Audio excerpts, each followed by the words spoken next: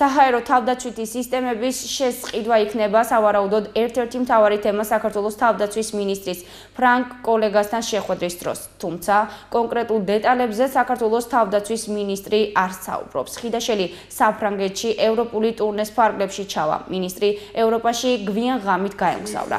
ვიზიტის ფარგლებში დაგეგმილია შეხვედრები ავსტრიისა და შვეიცარიის თავდაცვის უწყებების ხელმძღვანელებთან. თინა ხიდაშელი ვენაში კოლეგას შეხვდება და რამდენიმე ღონისძიებაში მიიღებს მონაწილეობას. მინისტრი ევროპულ ტურნეს 17 ივნისს დაასრულებს.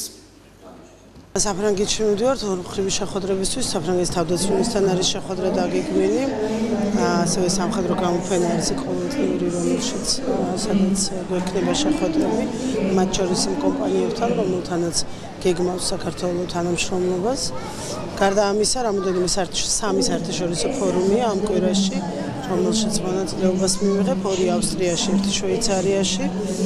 აა თავდაცვის მინისტერიალამდე, რომელისთვის ბოლოს სტარდება, ჩემი ამოცანა არის, რაც შეიძლება მეტ კოლეგასთან მოახერხო შეხვედრა და ამიტომ სწორედ ასეთ ფორუმებში მონაწილეობა ჩავთვალოთ ყველაზე მარტივ საშუალებად, რომ მოვიცვათ ფართო სპექტრი, როგორც საგარეო საქმეთა მინისტრების, ასევე ევროპელი თავდაცვის მინისტრების.